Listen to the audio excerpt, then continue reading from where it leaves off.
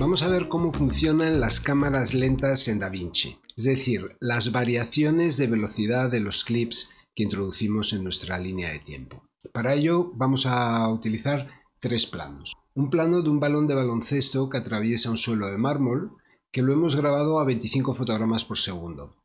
La misma acción también la hemos grabado a 48 fotogramas por segundo y veremos la diferencia cuando ralentizamos uno y cuando ralentizamos el otro. Y por último haremos un ejemplo con un plano grabado en los pasillos de la facultad de un panel de fotografías. El vídeo está estructurado en cuatro partes. En la primera veremos el menú Clip Attribute, que nos permite ajustar la velocidad de reproducción de un clip para que coincida con la configuración del proyecto. La segunda veremos Clip Speed y Retime Process, que son los menús para cambiar la velocidad de un clip una vez que lo tenemos en la línea de tiempo. La tercera parte, Retime Control y Retime Curves, que nos permitirá programar variaciones de velocidad en la reproducción de un clip, es decir, introducir aceleraciones y deceleraciones. Y por último veremos una aplicación práctica con el plano que hemos grabado del panel de fotografías de la facultad. Vamos ya con la primera parte, Clip Attribute. Voy a empezar importando los tres planos en el Media Pool. Me pide cambiar el frame rate, pero no lo voy a cambiar. Lo primero vamos a ver en los ajustes del proyecto en Project Settings y vemos que el timeline está, el proyecto está configurado a 25 fotogramas por segundo. Entonces, este plano de aquí está a 25 fotogramas por segundo, vamos a verlo. Vemos que el movimiento es, es muy fluido. Este otro plano está grabado a 48 fotogramas por segundo y vamos a verlo porque ahora mismo lo ha convertido automáticamente a 25 al insertarlo en el media pool en un plano de 25 y el resultado es que el movimiento no es fluido, va a tirones. ¿vale? Esto lo tenemos que corregir.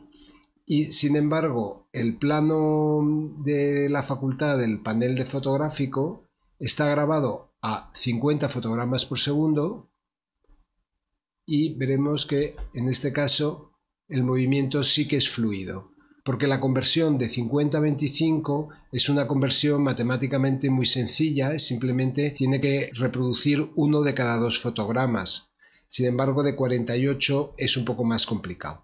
Entonces, para resolver esto, pulsando el botón derecho sobre el plano que está a 48, selecciono Clip Attributes, que es un menú que me permite cambiar cuestiones de audio, de código de tiempo, de nombre del archivo, pero aquí en la parte de vídeo me permite modificar el frame rate, video frame rate. Entonces está en 48 y lo voy a poner a 25, que es la frecuencia de fotogramas del proyecto. Entonces digo aceptar y ahora vamos a ver que el movimiento ya es completamente fluido y el plano está ralentizado porque como ha sido grabado a 48 fotogramas y lo estamos reproduciendo a 25 pues lo vemos a cámara lenta en el caso del que está grabado a 50 voy a hacer lo mismo clip attribute y lo voy a poner a 25. Y va a pasar lo mismo, lo vamos a ver a cámara lenta ahora y con un movimiento muy suave. Entonces, lo primero que tenemos que entender es que en el, en el media pool conviene que todos los planos estén a la misma frecuencia de reproducción que la línea de tiempo, que la frecuencia que vamos a utilizar en la exportación final y que cuando hemos grabado a una velocidad de fotogramas superior, tenemos de forma natural una cámara lenta que es perfecta, que tiene toda la resolución y toda la fluidez del movimiento necesaria. Cuando hacemos conversiones de 48 a 30 o de 60 a 25, son conversiones que no son baladí, que tienen un, un coste en la reproducción del movimiento que dejará de ser fluido. Vamos ahora a la página Edit para ver cómo modificamos la velocidad de reproducción de un clip cuando ya está en la línea de tiempo. Voy a hacer una línea de tiempo con los dos planos, el que va a 25 fotogramas por segundo y el que iba a 48, que ahora está ralentizado. Voy a quitarle la pista de audio y lo que voy a hacer es poner al 50% este y comparar las cámaras lentas, la que está hecha en cámara y la que está hecha en postproducción. Entonces, con el botón derecho del ratón pulso en el clip y tengo aquí un menú que dice Change Clip Speed. Entonces, este menú me permite cambiar aquí la velocidad. Voy a poner 50%, 50 de velocidad entonces estaba a 25 y ahora pasa a estar a 12,5. Aquí tengo una indicación de cuánto va a durar el plano. Y si pulso aquí en este clic que pone Ripple Sequence, lo que va a hacer es que va a extender lo que sea necesario el plano al que estoy modificando la velocidad y empujará el resto de la línea de tiempo, todo lo que tiene hacia la derecha, lo empujará para dejar hueco. Eh, este botón es Reverse Speed, es para poner marcha atrás. Freeze Frame es para congelar un frame. Y pues ya está, le doy Change y vemos que ahora está a cámara lenta. Entonces vamos a comparar la fluidez del movimiento de las dos formas de hacer la cámara lenta. Bueno, pues vemos que está a cámara lenta, pero que el movimiento todavía hay que mejorarlo porque va como a saltos, como si fuera stop motion, ¿no? Va así como a saltitos. Si voy fotograma a fotograma, lo puedo entender muy bien, porque voy avanzando uno y se mueve, el siguiente se queda quieto, uno se mueve, el siguiente se queda quieto, uno se mueve, el siguiente se queda quieto, y así. Entonces, porque lo que ha hecho es duplicar los fotogramas. De donde había 25 fotogramas, pues ahora hay 50, ¿no? Pero no se ha inventado ninguno. Entonces, para solucionar este problema, DaVinci lo que nos ofrece es este menú que está aquí en, el inspector, que se llama Retime and Scaling. Lo que, vamos a, lo que nos interesan son estos dos primeros, Retime Process y Motion Estimation. Aquí es donde, se, es donde se configura el tipo de interpolación que tiene que hacer entre un fotograma y otro. Entonces, hay tres opciones, Nearest, Frame Blend y Optical Flow ahora mismo estaba puesto en Project Settings y si me voy a los Project Settings, en el, en setting principal del proyecto, vemos aquí Frame Interpolation y Retime Process, tengo seleccionado Nearest. Y aquí están los otros dos, Frame Blend y Optical Flow. Entonces, el Nearest es lo que, lo que hemos visto, que duplica los fotogramas, pero no hace ningún proceso de cálculo de interpolación la, siguiente opción, que es Frame Blend, lo que va a hacer es que, como lo estáis viendo aquí en la imagen, está encadenando un fotograma con el siguiente, de tal forma que consigue mejorar la fluidez. ¿Ves? Hay un fotograma nítido y el siguiente es un semi-encadenado entre los dos fotogramas. Y de esta forma consigue eh, quitar ese efecto de stop motion y que el efecto sea suave.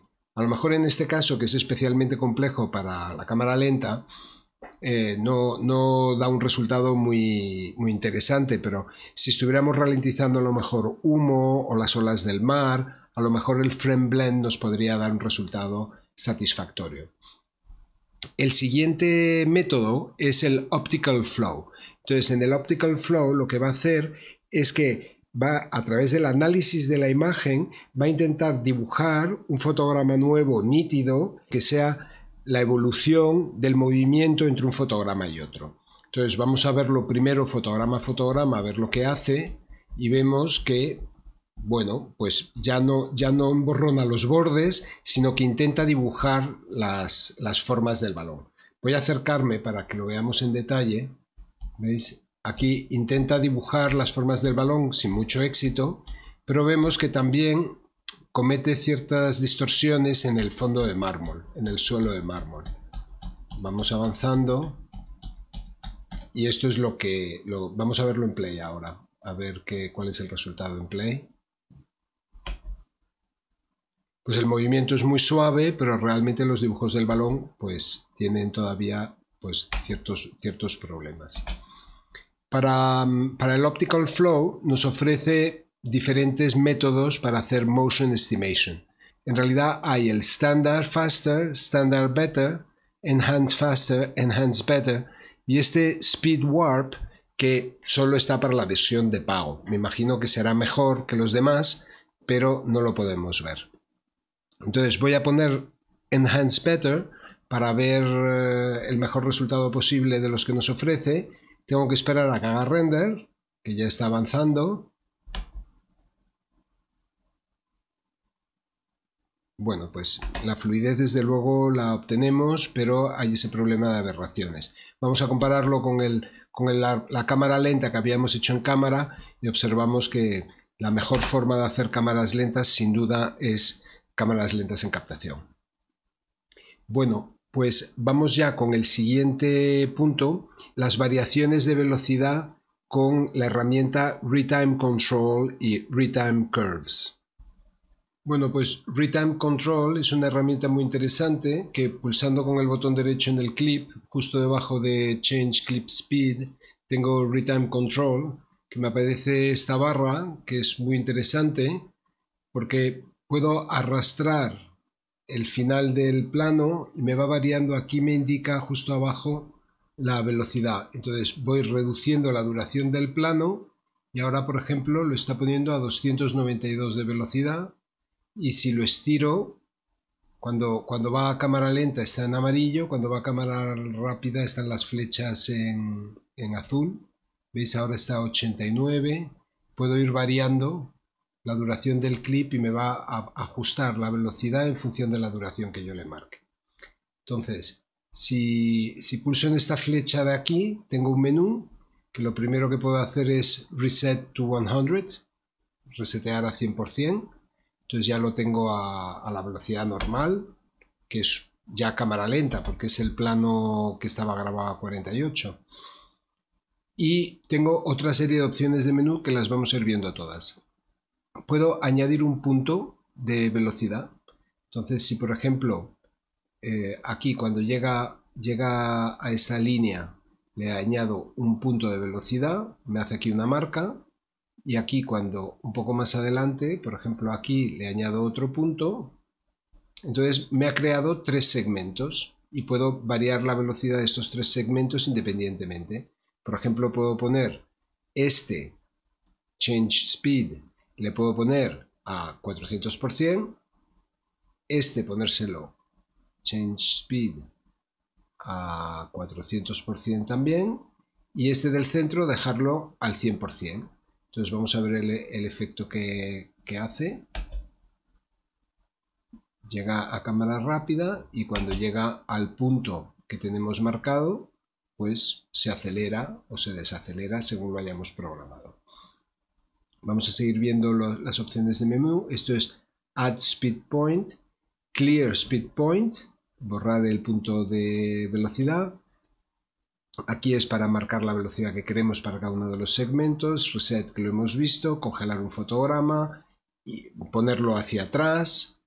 Y aquí las velocidades hacia atrás. Y aquí también te permite hacer rampas de velocidad, es una aceleración desde cero hacia adelante o que la aceleración vaya bajando hacia cero y luego reset clip. Vamos a ver cómo funcionan estos speed points. Yo, yo puedo, arrastrando por aquí, puedo ir cambiándolos. Voy a poner más grande la visualización. Entonces, al, modificar aquí, me va modificando el punto y por lo tanto la duración de la secuencia. Voy restringiendo la parte que va a ir a cámara lenta. A partir de aquí va a ir a cámara lenta. Pero eso no me interesa. Me interesa que la cámara lenta empiece aquí.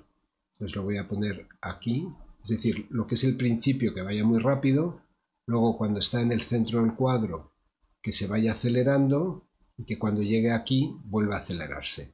Pero si lo, observáis, aquí veis en las flechas que están muy, muy apretadas, quiere decir que va muy rápido.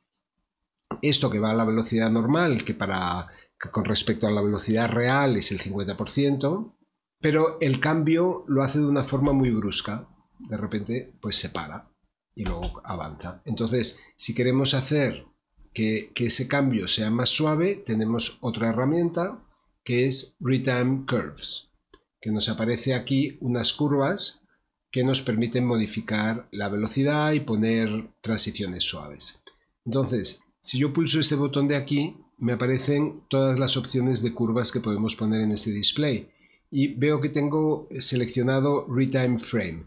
pero a mí me gusta más programarlo con Retime Speed.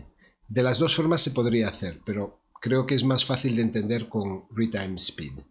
Entonces, vemos que aquí tengo la velocidad del 400%, toda esta barra, que la podría subir o bajar. Aquí lo bajo a 369, aquí lo vuelvo a poner en 400, que era donde estaba. Aquí tengo la velocidad del 100% y aquí otra vez la velocidad del 400%.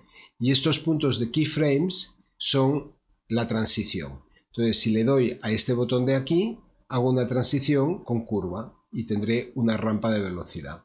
Entonces, exagerando un poquito esta curva,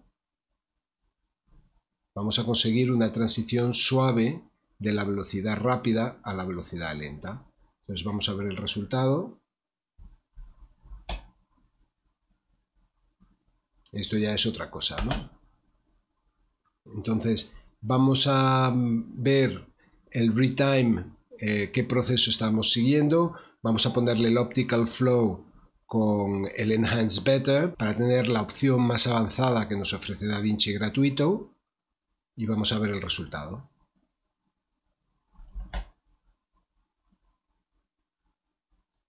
Bueno, pues espectacular.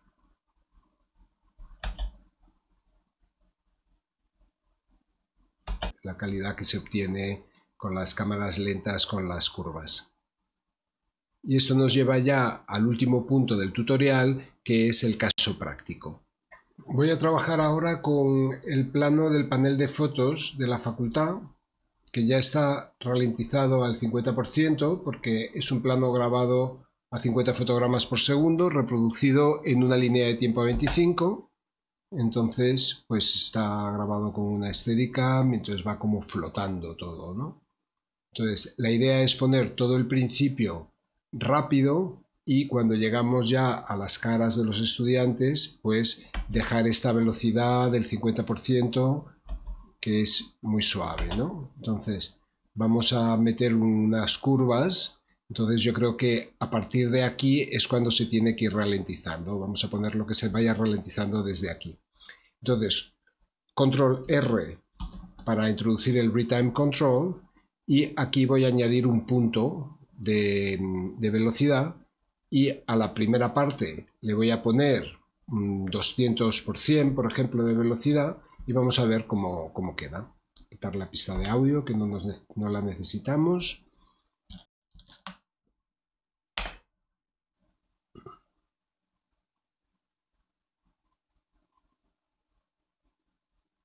Bueno, yo creo que se nota una parada muy brusca porque todavía no hemos puesto la, curva, pero yo creo que se puede ampliar la velocidad aquí, lo voy a poner a 400% y vamos a poner ya la curva para, para verlo bien.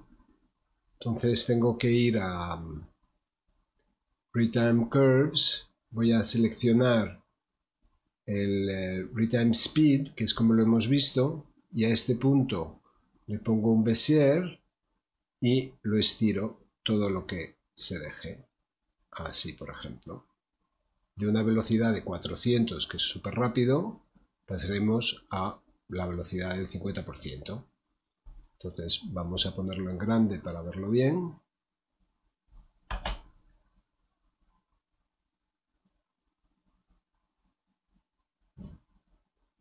Pues yo creo que queda muy bien. De todas formas, vamos a ponerle el Optical Flow y el Enhance Better, a ver si después del render todavía nos mejora un poco la calidad del efecto.